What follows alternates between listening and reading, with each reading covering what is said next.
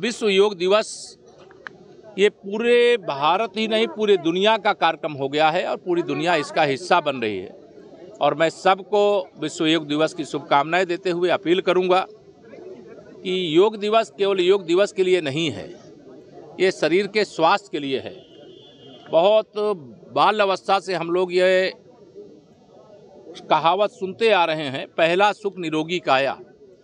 दूजा सुख घर में हो माया, तीजा सुख सुत आज्ञाकारी, चौथा सुख सुलक्षणा नारी। और इसमें बहुत सारे विषय हैं, लेकिन पहला जो सुख है संसार का, वह निरोगी काया को दिया गया है।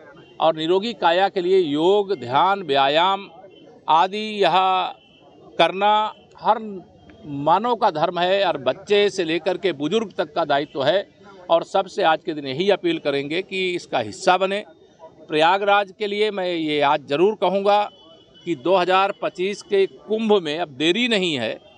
उसके लिए प्रयागवासी सदैव से ये कोई आज से नहीं हो रहा है, आदिकाल से हो रहा है। और प्रयाग ने सदैव दुनिया भर से आने वाले कुंभ यात्रियों का स्वागत किया है, सत्कार किया है। सरकार के स्तर से हम लोग कोई कमी ना रह जाए इसका प्रयास करें। अच्छा अखिलेश यादव अखिलेश यादव को कहना है कि अगर भाजपा सरकार ने पेपर पे न लगाकर पेड़ ज़मीन पे लगाया तो, तो इतनी गर्मी का सामना न करना पड़ता कि अभी वो फर्स्टेशन में है सपने ऊँचे देख रहे थे नीचे हो गए। उपचुनाव होने हैं उसको लेकर चला सर प्रयागराज में उस पर क्या कहिएगा? जो अतिक्रमण के खिलाफ अतिक्रमण के खिलाफ कार्रवाई जो भी है वो सदा से चलती है। कहीं पर भी आपकी कोई ज़मीन है और अगर उस पर कोई अवैध कब्जा किया है तो उसको हटाने की प्रक्रिया अगर सरकार है कानून व्यवस्था है तो लोगों की शिकायत है तो उसकी एक विधिक प्रक्रिया होती है उसको पूरा करके किया जाता है। ये दस जगह उपचुनाव होने हैं। कांग्रेस सपा साथ लड़ रहे बीजेपी की क्या रणनीति रहेगी? हम लोगों की रणनीति यही रहेगी कि जहाँ जहाँ उपचुनाव होने हैं वहाँ वहाँ कमल का फूल खिले।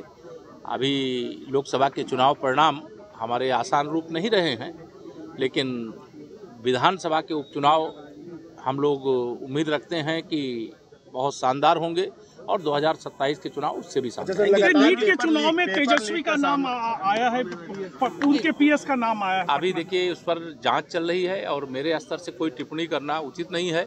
उसमें लाखों बच्चों का भविष्य जुड़ा हुआ है और जाँच एजेंसियाँ अपना जाँच कर रही हैं और जो जाँच में दोषी पाया जाए उनके खिलाफ इतनी कठोर कार्रवाई होनी चाहिए।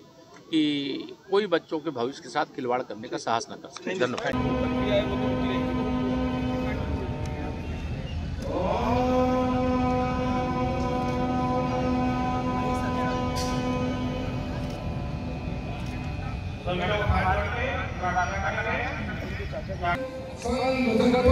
धन्यवाद